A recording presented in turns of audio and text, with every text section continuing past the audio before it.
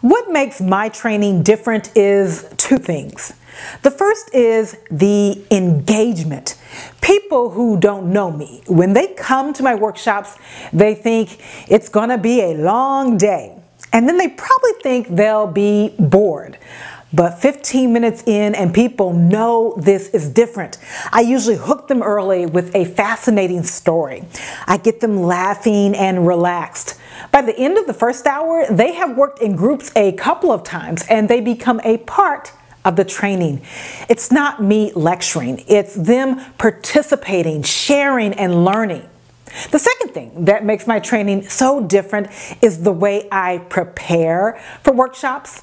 Before every workshop, I sit down with management. Usually this is a conference call or video conference. I ask questions, lots of questions to help me get crystal clear on your objectives, what it is you want me to fix.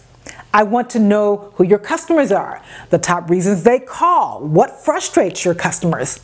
When I'm working with a contact center, I always ask for a random sample of calls to review. This helps me to learn even more. I want to know about your people. What's a typical day like for them?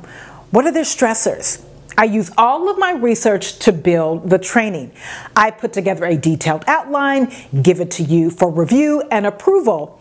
The pre-work makes the workshop completely customized and exactly what you need. So engagement and research, that's what makes my training different. If your employees need soft skills training or they need help for how to talk to challenging customers, talk to me. I love to create and deliver a custom, engaging workshop for your team.